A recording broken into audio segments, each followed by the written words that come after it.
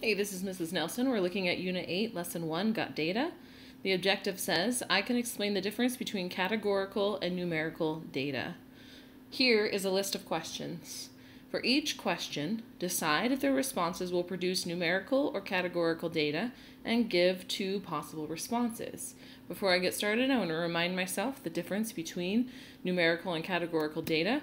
I know that numerical data has values that are numbers and categorical data has values that are words. So the answer for numerical will be numbers, the answers for categorical will be words. Um, the instructions say to decide first if it's numerical or categorical and then give examples, but I'm actually going to start with examples first and then put it in either as numerical or categorical because that will help me to decide. The first question says, What is your favorite breakfast food? So Examples could be cereal or toast, and since those are words, that's going to be categorical data. Next question, how many different teachers do you have?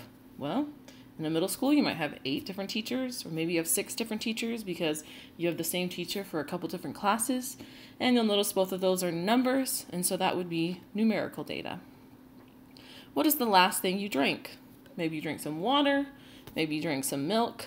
Since those are words, that's categorical data. How many minutes did it take you to get ready this morning? Hmm, maybe it takes you a half hour, or maybe it only took you 12 minutes to get ready this morning. And since both of those are numbers, then that would be numerical data. Again, the objective says I can explain the difference between categorical and numerical data. Both of them are answers, both of that's information that you're gathering by asking some questions. But numerical data are numbers and categorical data are words. Thanks for watching.